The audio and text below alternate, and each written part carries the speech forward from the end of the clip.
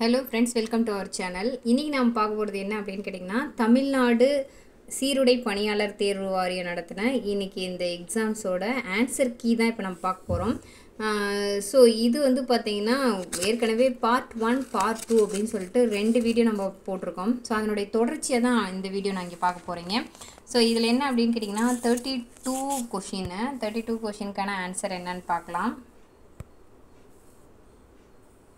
So thirty two question வந்து பால் தயிராதல் என்பது ஒரு டேஸ் ஆகும் அப்படிங்கிறது தான் இந்த கொஷினு ஸோ இது வந்து பார்த்திங்கன்னா ஆன்சர் ஏ தான் கரெக்டானது அதாவது மீளா வினை. அதுக்கு வந்து பார்த்திங்கன்னா மீளா வினை. அடுத்து தேர்ட்டி த்ரீ வந்து பார்த்திங்கன்னா பொறுத்துக. ஸோ அதை வந்து அதுக்கப்புறம் நம்ம பார்க்கலாம். அடுத்து தேர்ட்டி ஃபோருக்கான ஆன்சர் பார்க்கலாம்.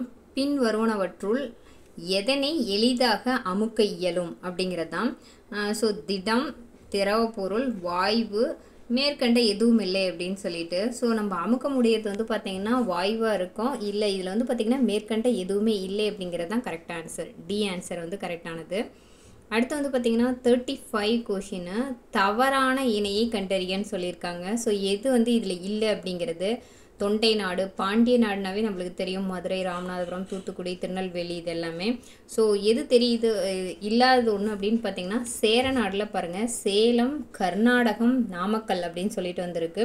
ஸோ ஆன்சர் சி அதுதான் வந்து கரெக்டான ஆன்சர் தேர்ட்டி ஃபைவ்க்கு அடுத்து வந்து பார்த்திங்கன்னா தேர்ட்டி சிக்ஸு பொறுத்துக.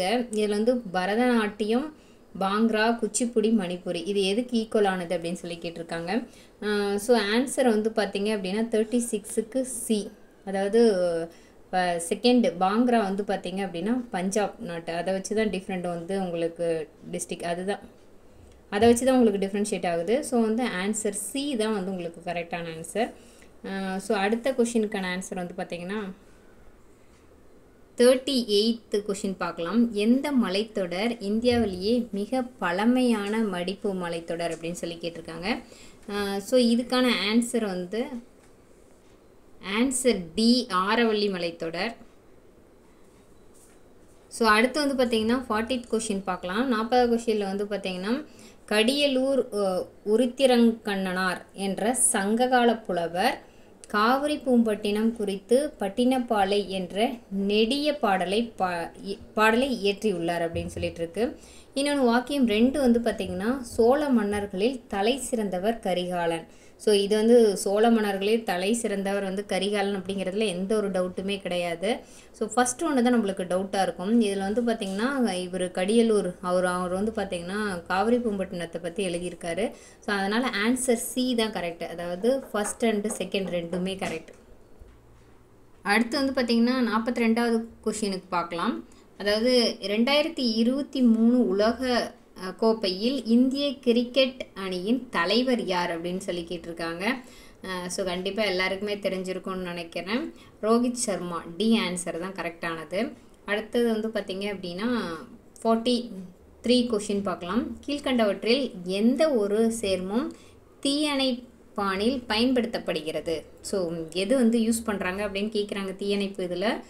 நாற்பத்தி மூணாவது கொஷினு அதுக்குரிய ஆன்சர் வந்து பார்த்திங்கன்னா சோடியம் பைகார்பனேட் தான் அதில் யூஸ் பண்ணக்கூடிய திரவம். அடுத்தது ஃபார்ட்டி ஃபோர்த் கொஷின் இந்தியாவின் மிகப்பெரிய எண்ணெய் வயல் எது அப்படின்னு சொல்லி கேட்டிருக்காங்க. ஸோ அதுக்கு வந்து பார்த்திங்கன்னா ஆன்சர் சி மும்பை ஹை எண்ணெய் வயல் தான் வந்து ரொம்ப மிகப்பெரிய எண்ணெய் வயல். ஸோ அடுத்து வந்து பார்த்திங்கன்னா ஃபார்ட்டி ஃபைவ் அது வந்து பார்த்திங்கன்னா பொறுத்துக. ஸோ மேட்சிட்டு வந்து அதுக்கப்புறம் பார்ப்போம். அடுத்து வந்து பார்த்திங்கன்னா நாற்பத்தி ஒன்பதாவது கொஷின்னு வேறுபட்டு இருப்பதை தேர்ந்தெடுத்து எழுதுக அப்படின்னு சொல்லி கொடுத்துருக்காங்க. ஸோ இதுக்கு ஆன்சர் வந்து பார்த்திங்க அப்படின்னா ஆன்சர் சி தான் வந்து கொஷின் இதுக்குரிய ஆன்சர் ஸோ அடுத்து அடுத்த கொஷினுக்கான ஆன்சர் பார்க்கலாம்.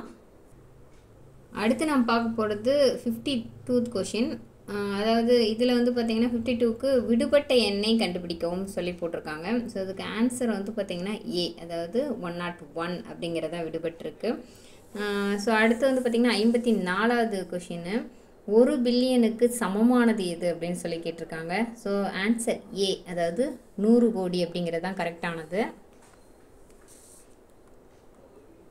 அடுத்து வந்து பார்த்திங்கன்னா கேள்விக்குறிகள் இட்ட இடங்களை நிரப்புகன்னு சொல்லிட்டு ஐம்பத்தி ஏழாவது கொஷினும் இதுக்குரிய ஆன்சர் வந்து பார்த்தீங்க அப்படின்னா ஆன்சர் பி வந்து கரெக்டானது எம் அண்ட் ஓ அப்படிங்கிறது.